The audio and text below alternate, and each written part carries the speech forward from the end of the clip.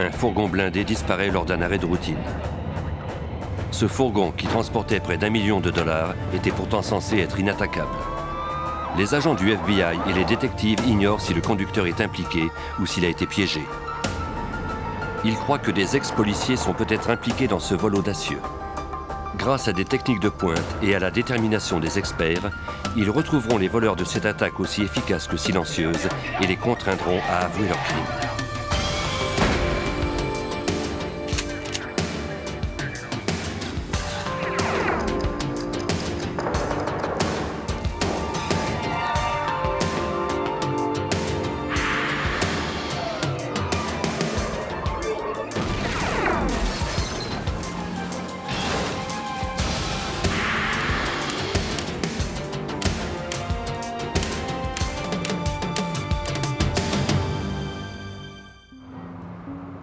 Centre commercial Arrowhead à Glendale en Arizona le 28 novembre 1994.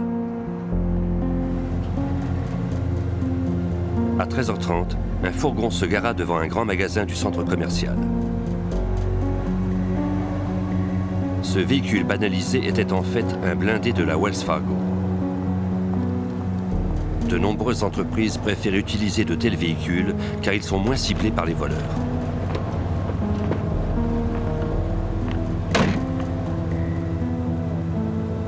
Conformément au protocole de travail, le conducteur ne quitta pas son siège pendant que son collègue allait chercher l'argent liquide au magasin.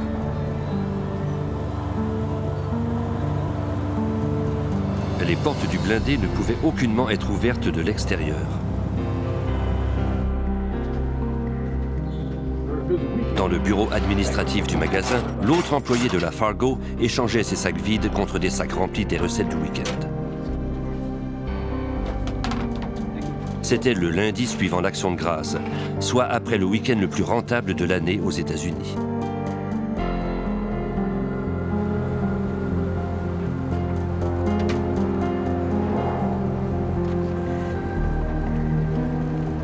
Quand l'homme revint au stationnement quelques minutes plus tard, le véhicule blindé et son conducteur avaient disparu. Il appela immédiatement la police de Glendale. L'appel fut relayé aux détectives. On dépêcha des voitures sur les lieux et on avisa le FBI. Le bureau du FBI le plus proche était celui de Phoenix, à environ 30 km du centre commercial. Comme l'argent qui se trouvait dans le véhicule blindé était assuré par le gouvernement fédéral, le FBI ouvrit une enquête. Des agents partirent aussitôt pour se rendre sur la scène du crime. Les détectives de Glendale arrivèrent toutefois avant eux. Ils interrogèrent l'employé. Ce dernier leur dit qu'il n'était parti que 4 minutes. En revenant, il s'était aperçu que son collègue John Magoche et le fourgon avaient disparu. Selon son estimation, il y avait plus d'un million de dollars à l'intérieur en comptant les coupures, la monnaie et les chèques. Les détectives interrogèrent ensuite d'autres personnes au centre commercial. Personne n'avait vu ni entendu quoi que ce soit d'anormal.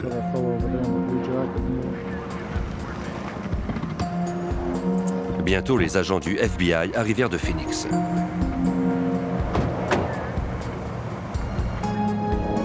Les techniciens avaient déjà fait la recherche d'indices sur la scène. Là où le véhicule s'était trouvé, il y avait un mégot de cigarette et une paire de lunettes cassées. L'employé déclara que le conducteur fumait. De plus, les lunettes ressemblaient à celles que portait Magoche pour conduire.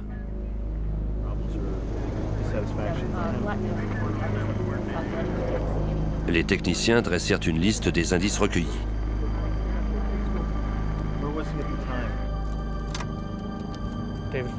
Le détective Tom Clayton est enquêteur pour le service de police de Glendale. Quand le fourgon a disparu, la première pensée qui nous est venue à l'esprit, c'était que le conducteur s'était enfui avec l'argent et qu'il allait quitter la ville. Nous avons aussi pensé qu'il avait pu avoir été attaqué. Nous ne savions pas si les lunettes cassées avaient servi à maquiller la scène. Nous avons envisagé toutes les hypothèses possibles.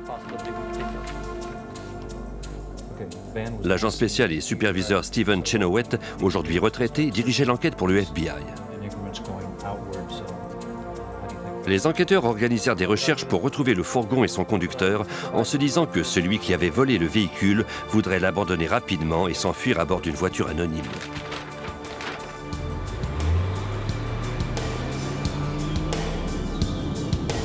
On dépêcha des policiers pour fouiller le quartier autour du centre commercial.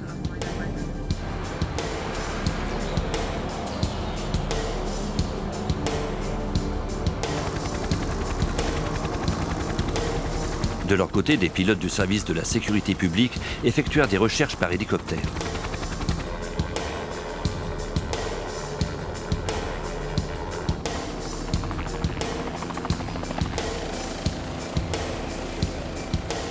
Ils commencèrent par survoler le centre commercial, puis élargir leur champ de recherche en effectuant des vols concentriques pour repérer le fourgon dans les quartiers voisins.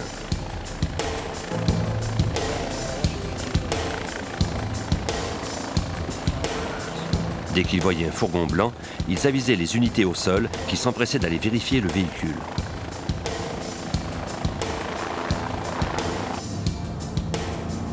L'agent spécial Chinowet et ses collègues savaient déjà que la plupart des vols de fourgons blindés sont faits par des employés ou alors qu'il s'agit d'embuscades armées. Personne n'avait entendu de coup de feu. Peut-être le conducteur avait-il décidé de troquer son maigre salaire contre un alléchant butin d'un million de dollars. Le fourgon était supposé être verrouillé et le conducteur à l'intérieur. Personne n'avait donc pu monter à bord. Le fait que le fourgon ait disparu nous poussait à croire, du moins au début, que le conducteur avait joué un rôle dans l'affaire. Les enquêteurs tentèrent de trouver d'autres informations sur le conducteur. Nous avons enquêté sur John Magosh en commençant par introduire son nom dans notre base de données pour voir s'il avait des antécédents judiciaires. Nous avons aussi examiné son dossier à la Wells Fargo et noté le nom de ses parents et amis ainsi que son adresse. Après avoir obtenu un mandat de perquisition, les agents se rendirent à son appartement. La concierge les fit entrer. Il fallait maintenant découvrir si Magoche avait laissé des indices derrière lui qui permettraient d'affirmer qu'il avait planifié le vol. Rien ne semblait avoir été déplacé. Il n'y avait aucun signe non plus qu'il se préparait à quitter la ville. Do you know who this is? Yes. That's Lisa Johnson. Les détectives apprirent qu'il avait une fille qui vivait à Phoenix.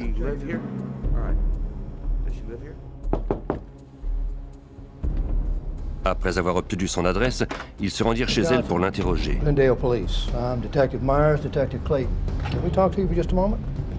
Selon la jeune femme, Magoche était un homme honnête et stable. Son travail lui tenait à cœur. C'est aussi ce que d'autres personnes déclarèrent aux enquêteurs. Magoche n'avait aucun antécédent criminel. Les détectives commençaient à croire que ce grand-père de 61 ans n'était pas un suspect, mais bien une victime. John Magosh avait une bonne réputation. Nous avons parlé à sa famille, ses amis ainsi qu'à ses collègues de travail. C'était un homme qui menait une vie simple. L'argent ne l'intéressait pas plus que ça. En se basant sur son passé, on ne le croyait pas susceptible de commettre ce crime. Une fois Magoche éliminé de la liste des suspects, les enquêteurs se retrouvèrent à la case départ. Ils devaient maintenant faire appel au public pour obtenir de l'aide. Quand on ne dispose pas de témoins, on essaie de faire paraître le plus d'informations possible par des communiqués de presse, des articles dans les journaux, etc. Nous espérons toujours que quelqu'un qui a vu quelque chose les lira. Au cours de l'après-midi, le FBI et la police de Glendale tinrent une conférence de presse.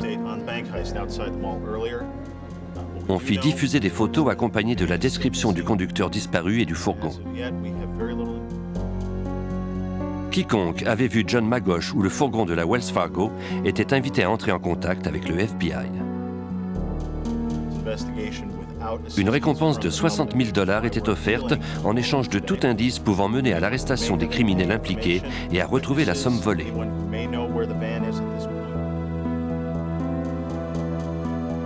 Quelques heures plus tard, quelqu'un appela au service d'urgence à partir d'une église de Sun City, en banlieue de Glendale.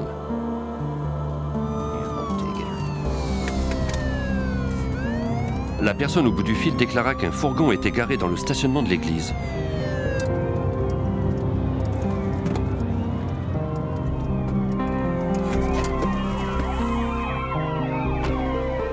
Paroissiens qui venaient jouer au bingo le lundi soir remarquèrent aussi le véhicule qui correspondait à la description donnée dans les bulletins de nouvelles.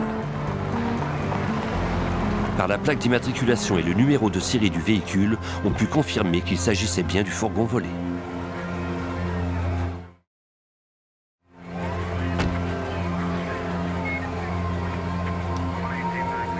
C'est avec prudence que les enquêteurs s'approchèrent du véhicule, ne sachant trop ce qu'il pouvait y avoir à l'intérieur.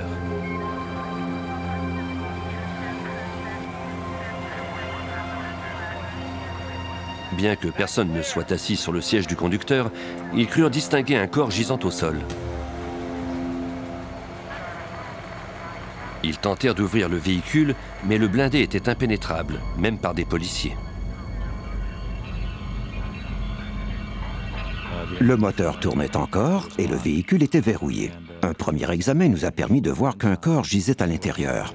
Pour entrer dans le véhicule, nous avons dû bien sûr faire venir une employée de l'entreprise à laquelle appartenait le fourgon.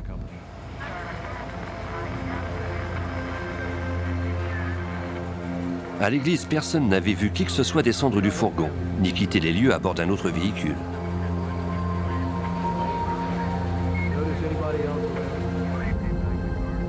En regardant à l'intérieur, les policiers pouvaient voir du sang sur la poitrine de la victime, juste à côté de l'insigne de la Wells Fargo. Elle ne semblait pas respirer.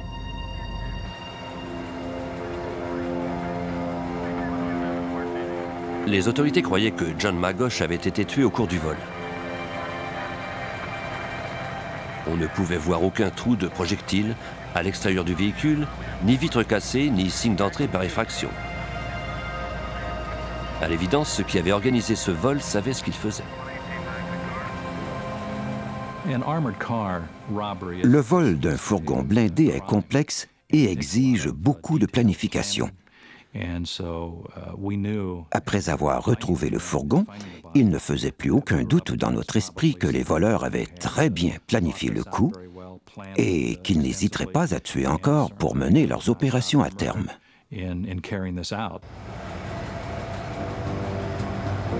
Les enquêteurs devaient maintenant entrer dans le fourgon pour découvrir ce qui s'était passé.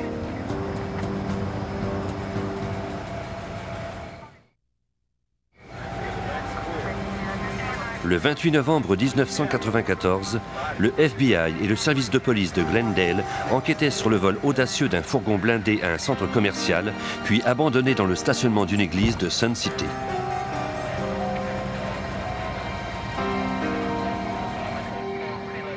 Le conducteur, John Magosh, 61 ans, gisait mort dans le blindé. Il avait reçu un projectile à la tête, mais sa mort n'avait pas été instantanée. Les techniciens remarquèrent des gouttelettes de sang près de sa bouche qui semblaient avoir été aspirées, ce qui indiquait qu'il respirait encore après le coup de feu. À l'intérieur du fourgon, les enquêteurs trouvèrent 132 000 dollars en pièces de monnaie. Les billets de banque et les chèques dont la valeur totale était estimée à 920 000 dollars avaient disparu.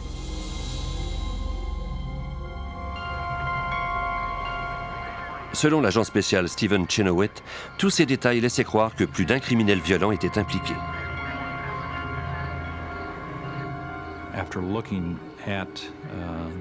Après avoir examiné le fourgon, nous nous doutions que nous avions affaire à plus d'un individu parce que ce vol aurait été très difficile à réussir par une personne seule. Ils étaient donc deux ou plus.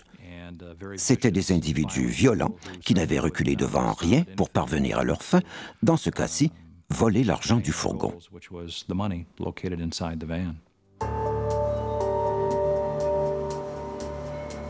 Lors de l'autopsie du conducteur, le médecin légiste recueillit plusieurs fragments de projectiles du côté gauche de son crâne. Les fragments étaient trop petits pour qu'on puisse déterminer la marque de l'arme. Ils semblaient cependant provenir d'un petit calibre, peut-être un 22. Le médecin légiste ne trouva aucune trace de brûlure sur la tête de la victime, ce qui signifiait qu'on ne l'avait pas tué à bout portant.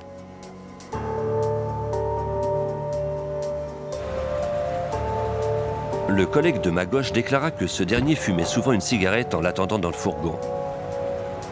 Bien que cela fût totalement interdit par leur employeur, il ouvrait la porte pour laisser la fumée s'échapper. Les meurtriers connaissaient sans doute cette habitude et en avaient profité pour tuer Magoche.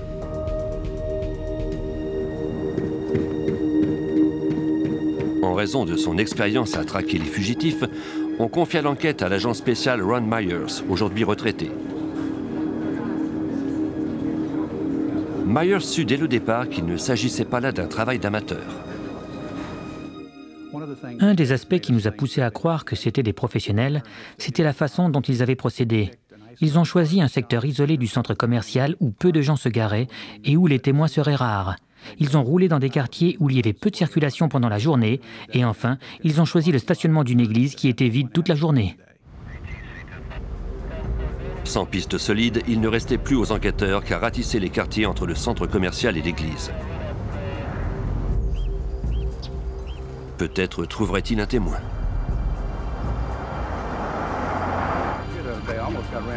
Edward Morgan, un résident de Sun City, se rappelait avoir aperçu le fourgon.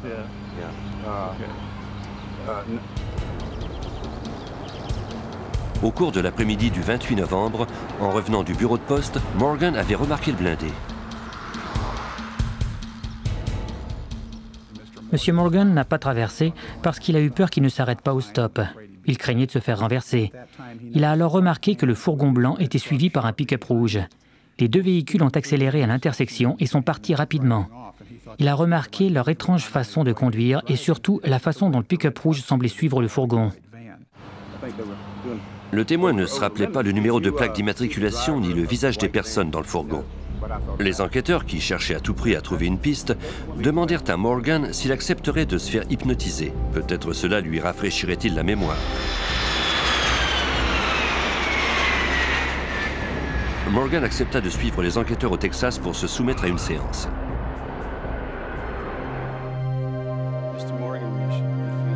Il y rencontra un hypnotiseur judiciaire. Sous hypnose, Morgan revit les événements du 28 novembre. Il se rappela avoir aperçu le fourgon blindé et l'homme assis dans le siège du passager. Cela laissait présumer qu'au moins trois personnes étaient impliquées dans le coup. Deux hommes dans le fourgon et un autre dans le pick-up rouge. Quand on lui demanda le numéro de plaque d'immatriculation du pick-up, Morgan put en donner une partie. C'était mince, mais c'était déjà un début. Nous avons vérifié toutes les combinaisons possibles de ces numéros de plaques. Nous avons obtenu une liste de plusieurs centaines de véhicules parce que le ministère des Transports de l'Arizona ne tient pas compte de la couleur des véhicules.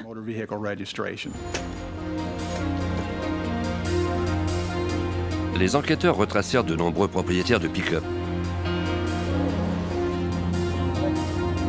Ils les interrogèrent un à un, mais sans succès.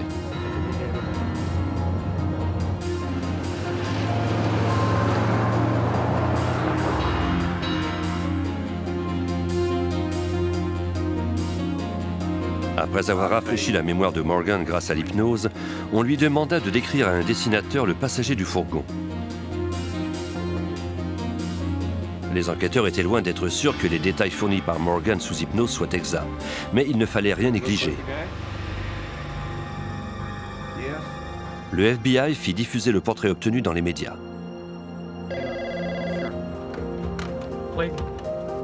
Le 31 décembre, les policiers reçurent un appel. Selon un détective de Mesa, une femme détenait des informations.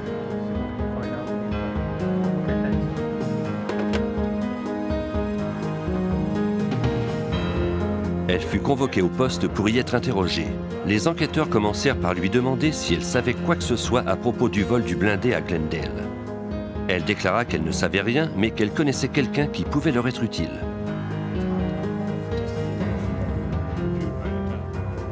Son amie, Judy Espinosa, s'était confiée à elle après avoir entendu la nouvelle du vol à la télévision. Elle soupçonnait son petit ami d'être impliqué.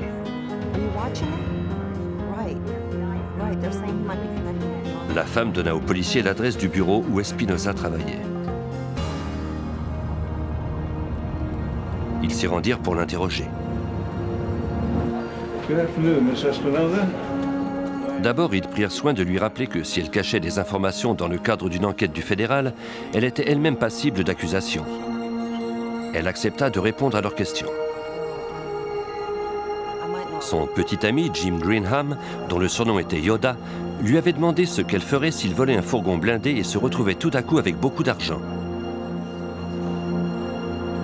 Elle ajouta à l'agent spécial Ron Myers que Greenham était occasionnellement chasseur de primes et qu'il était toujours fauché.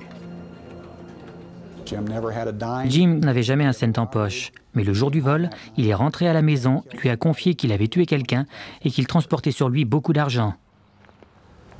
Elle a ajouté que James travaillait avec un certain Tim Ring. Elle est allée chez lui et a remarqué qu'il avait un nouveau véhicule tout-terrain, des motomarines et une nouvelle motocyclette. Tim lui a même dit qu'elle ne pouvait pas imaginer l'importante somme d'argent qui se trouvait dans le garage.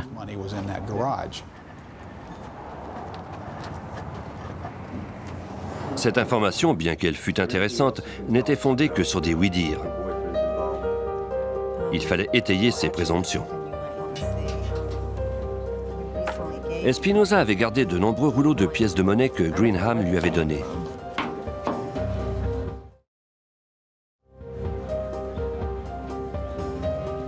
Les emballages étaient les mêmes que ceux qu'utilisaient les marchands qui faisaient affaire avec les employés du fourgon volé. Plus d'un mois après le crime, les enquêteurs disposaient enfin de suspects.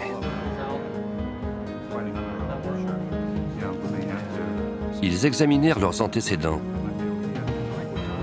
Ces noms étaient déjà familiers pour l'agent spécial Stephen Chenoweth du FBI. Tim Ring avait déjà été informateur lors d'autres enquêtes.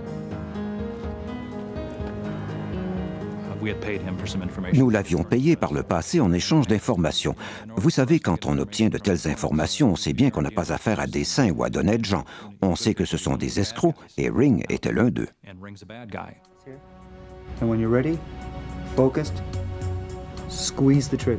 Tim Ring et James Greenham avaient déjà été gardiens de prison à Phoenix. Ils travaillaient maintenant ensemble comme chasseurs de primes. Tous deux avaient suivi un entraînement de tir poussé. Ring était d'ailleurs tireur d'élite.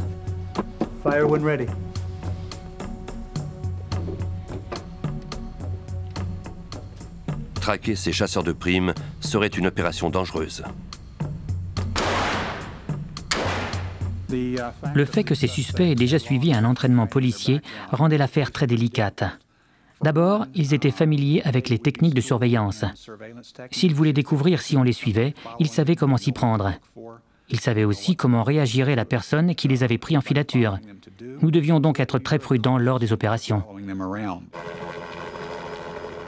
Le FBI et la police de Glendale mirent sur pied une opération de surveillance par voie aérienne et terrestre. Il fallait maintenant découvrir combien les deux complices gagnaient et quelles étaient leurs dépenses. À notre connaissance, tout le temps que nous avons suivi Greenham et Ring, ils ne travaillaient pas. Ils ne touchaient donc aucun revenu d'une source légale. Pourtant, nous les voyons constamment dépenser d'importantes sommes. Ring fit faire la révision complète de son pick-up et Greenham acheta un nouvel appartement. Les deux hommes firent aussi l'acquisition de motos. Les agents retracèrent tous leurs achats. Les suspects semblaient ne pas dépasser un certain niveau de dépenses pour ne pas éveiller les soupçons du ministère du Revenu. Ils étaient très prudents et restaient sous la limite des 10 000 dollars en sachant que s'ils dépensaient trop de liquide, leurs achats seraient signalés au ministère par les détaillants.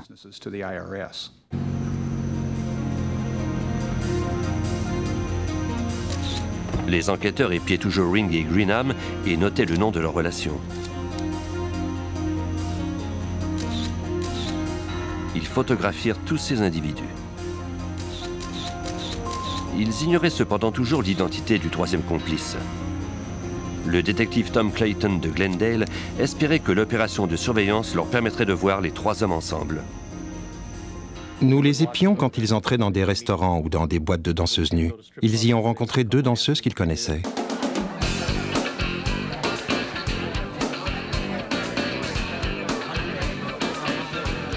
Partout où les suspects allaient, ils dépensaient beaucoup d'argent sans se douter que la police les surveillait.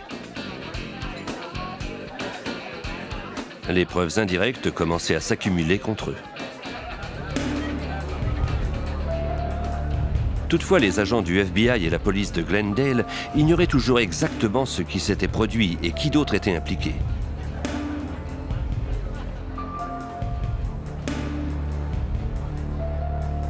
Ils devraient trouver une façon de faire une incursion dans le monde interlope auquel ils appartenaient.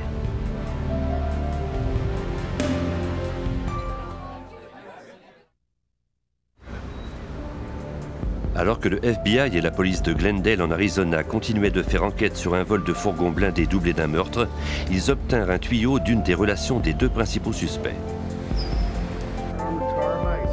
Le chasseur de prix Michael Sanders déclara qu'il avait surveillé des fourgons blindés avec deux complices. Il croyait que ces deux hommes avaient fait le coup de Glendale sans lui. Il était furieux d'avoir été largué et il avait décidé de se venger en révélant ce qu'il savait à la police. Il donna à l'agent Ron Myers un indice sur le troisième complice. Sanders est venu nous confier que Tim Ring et Jim Greenham étaient impliqués dans le vol du fourgon blindé. De plus, un ex-policier de Phoenix, un certain Fergie, qui travaillait au centre commercial de Paradise Valley, était peut-être le troisième complice. On décida d'identifier ce Fergie. Les agents passèrent en revue les photos prises lors de l'opération de surveillance.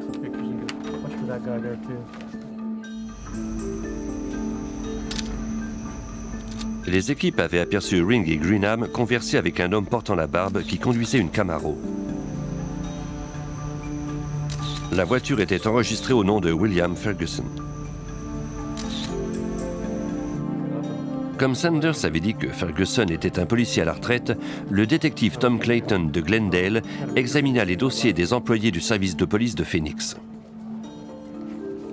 Nous enquêtions sur le passé de William Ferguson quand nous avons découvert qu'il avait quitté à 20 ans le service de police de Phoenix et que ce départ avait été précipité à la suite de problèmes disciplinaires. Les enquêteurs firent surveiller Ferguson.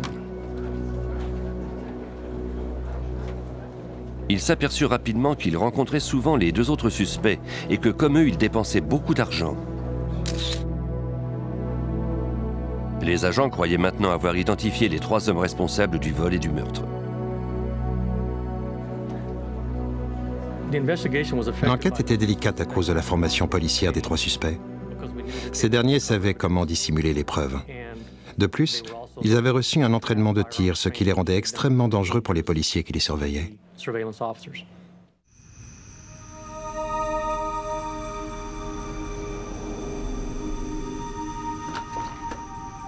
Les détectives devaient trouver des preuves de leur implication.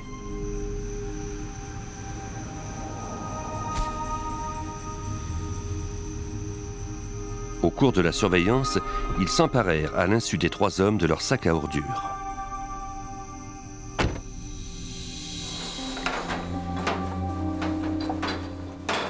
Les techniciens du FBI examinèrent le contenu des sacs.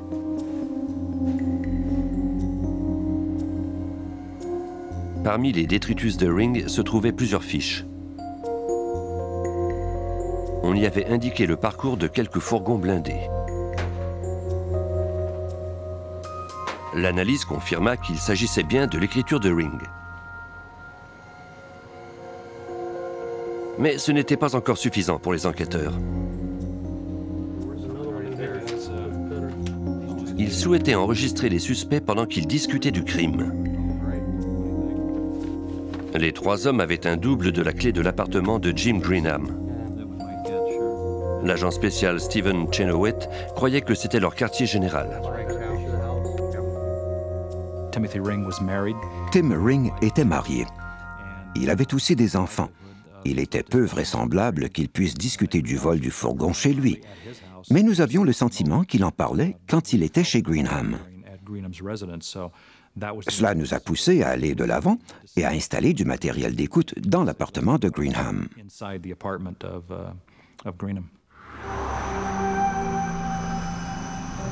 L'agent spécial Myers faisait partie de l'équipe qui pénétra dans l'appartement clandestinement pour y cacher des micros. Quand nous sommes entrés, l'alarme s'est mise à sonner. Nous avons alors refermé la porte et nous sommes partis. Nous avons dû y retourner plus tard, cette fois accompagnés d'un expert en système d'alarme. Quand nous avons ouvert la porte, nous avons bien vu qu'un simple détecteur de mouvement était placé au-dessus du réfrigérateur et que tout ce que nous avions à faire, c'était de pousser l'interrupteur pour le mettre hors circuit. Ce n'était pas un système très complexe.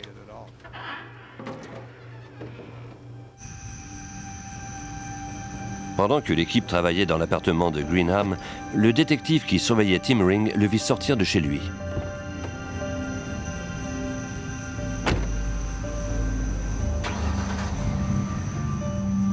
Ring conduisait un pick-up rouge comme celui décrit par certains témoins.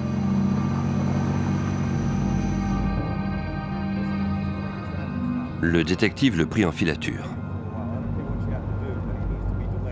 Après quelques coins de rue, il comprit avec effroi à quel endroit le suspect se rendait.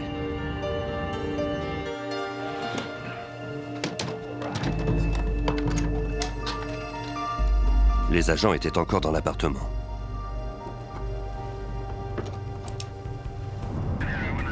Tim Ring semblait toujours se diriger dans cette direction. Il lui arrivait souvent d'aller chez Greenham, même quand son ami n'y était pas. L'opération secrète des agents était en péril.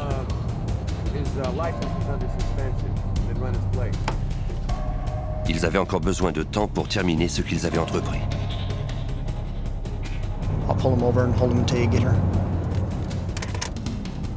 Le détective appela le service de police pour qu'un patrouilleur l'arrête pour excès de vitesse.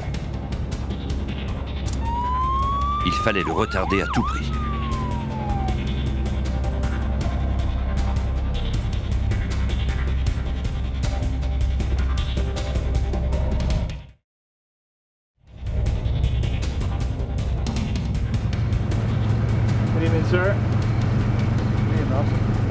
Policier fit la leçon à Ring à propos des dangers de faire des excès de vitesse. Pendant ce temps, l'équipe terminait son travail à l'appartement. Let's go, gang. They're on their way over. Okay, put everything away. Let's get this thing back. Ils terminèrent juste avant l'arrivée de Ring.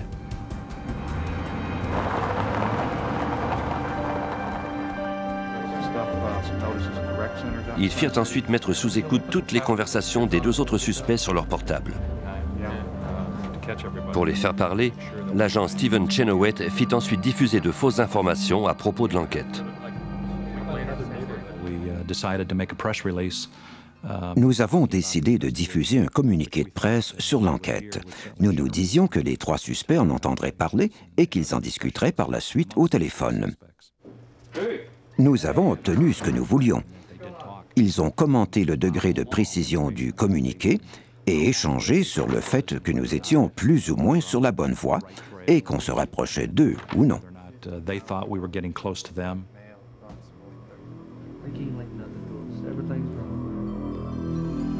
Les enquêteurs écoutaient toutes les conversations des suspects.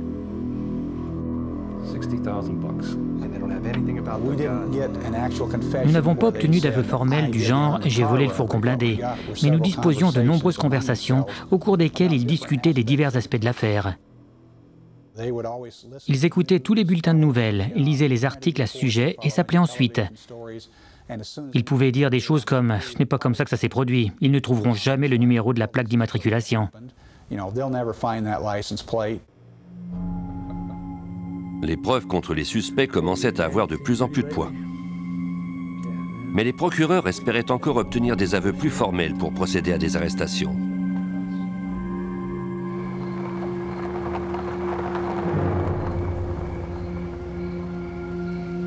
Une fois de plus, ils provoquèrent les suspects.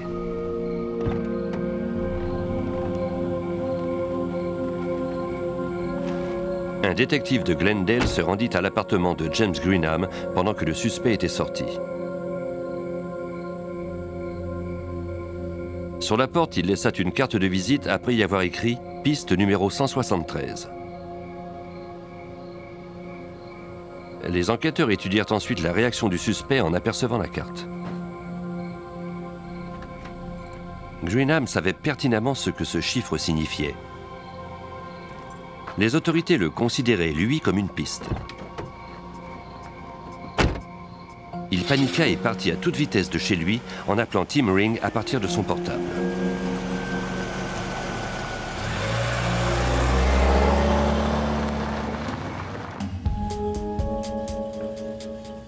Pendant ce temps, des agents le surveillaient du haut des airs et écoutaient la conversation. Tim, man, listen. Greenham se rendit jusque dans le désert avant d'arrêter son véhicule.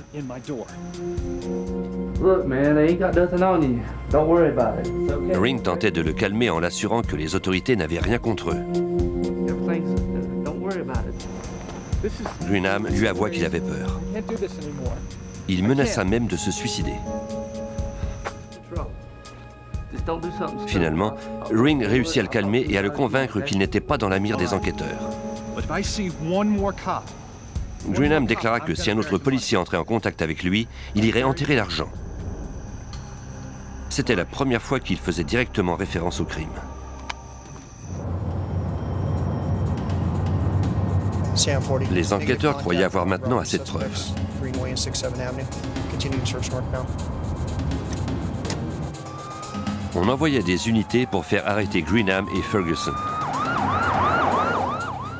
Jim Greenham a été arrêté par une équipe et William Ferguson par une autre.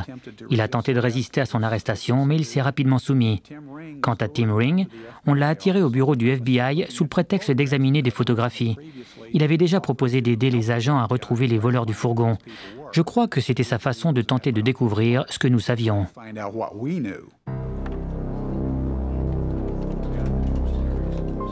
L'agent du FBI qui avait utilisé les services de Ring en tant qu'informateur l'appela. Ring accepta de le rencontrer à son bureau.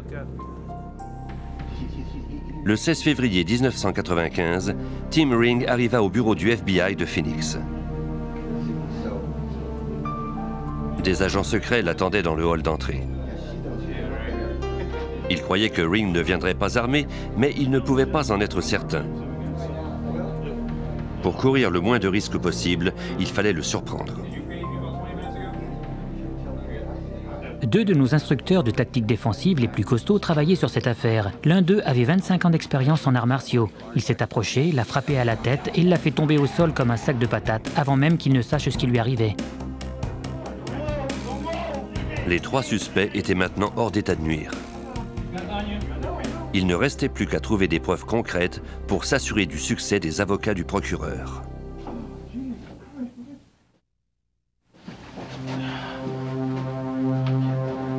Le 16 février 1995, après avoir arrêté trois hommes à la suite du vol d'un fourgon blindé et d'un meurtre, les agents du FBI, aidés des détectives de Glendale en Arizona, fouillèrent les lieux de résidence des suspects.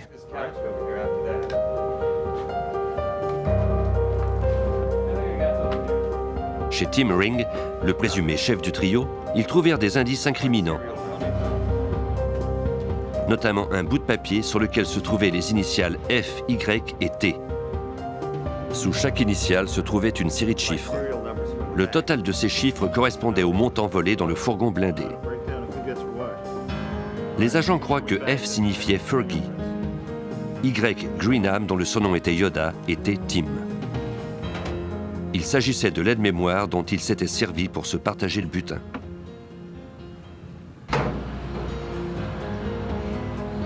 Dans le garage, les enquêteurs trouvèrent le pick-up rouge qui correspondait à la description d'Edward Morgan à Sun City. Le numéro de plaque d'immatriculation, toutefois, n'était pas celui obtenu lors de la séance d'hypnose. Il y avait quantité d'armes à feu et de munitions chez Ring.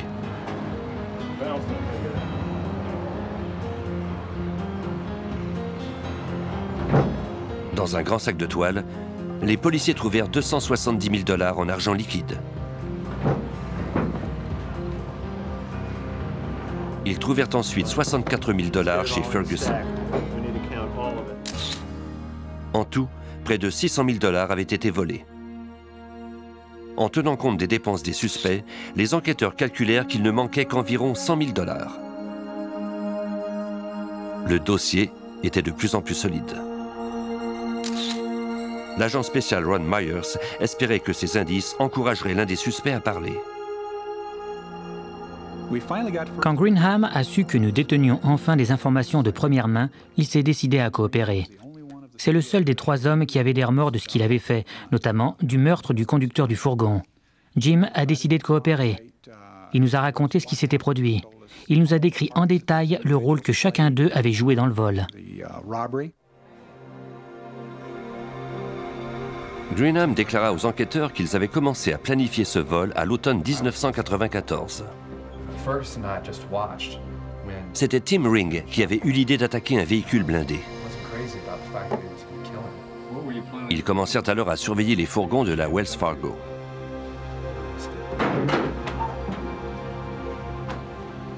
Ils suivaient les véhicules et prenaient note de leur trajet. Ils se concentrèrent bientôt sur le fourgon que conduisait John Magosh et le suivirent pendant plusieurs jours. En surveillant ce véhicule blindé en particulier, ils se sont aperçus que chaque fois qu'il s'arrêtait, le conducteur ouvrait la porte d'environ 15 cm pour laisser s'échapper la fumée de sa cigarette. De plus, à plusieurs reprises, ils ont remarqué que lorsqu'il s'arrêtait à ce centre commercial, il se garait toujours exactement au même endroit.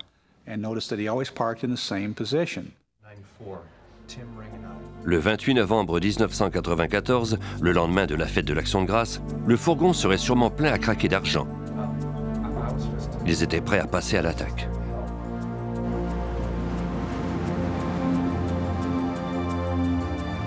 Sans se faire remarquer, Jim Greenham et William Ferguson attendirent près du magasin.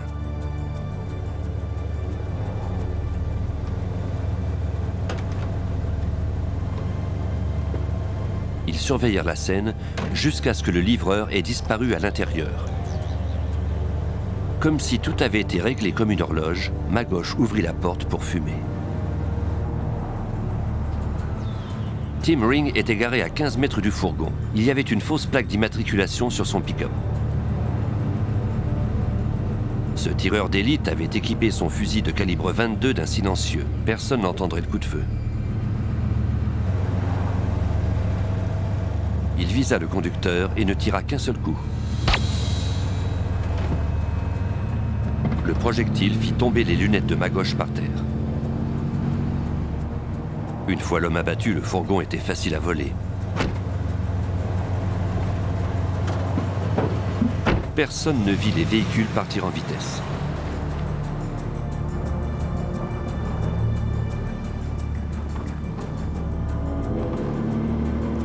Trois hommes s'arrêtèrent ensuite dans le stationnement de l'église. À cette heure-là, il était désert.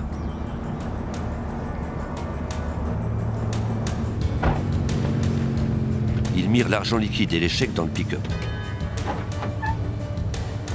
Ils savaient que les autorités chercheraient le fourgon.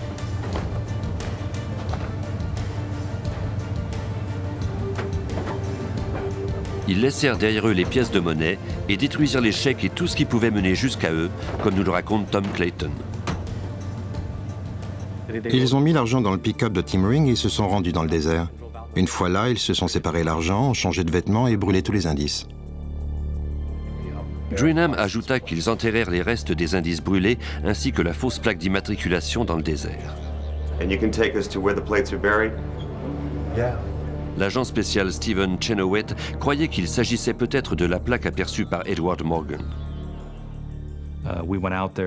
Nous nous sommes rendus sur place et nous avons creusé et retrouvé la plaque. Trois des chiffres correspondaient à ce que nous avait donné M. Morgan. Il ne s'était donc pas trompé. Jim Greenham a plaidé coupable de meurtre au second degré et de vol à main armée et purge présentement une peine de 27 ans et demi d'emprisonnement. William Ferguson a plaidé coupable de vol à main armée et de complicité de meurtre. Il a écopé de 17 ans de prison. Le 6 décembre 1997, Tim Ring a été trouvé coupable de meurtre au premier degré, de complot et de vol.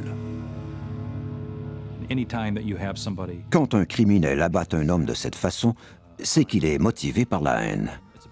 C'est ce genre de meurtre crapuleux qui nous motive à utiliser toutes nos ressources pour trouver les coupables et les mettre derrière les barreaux. Pour ces crimes, Ring a été condamné à la peine de mort. Il attend présentement son exécution à la prison d'État de l'Arizona à Florence.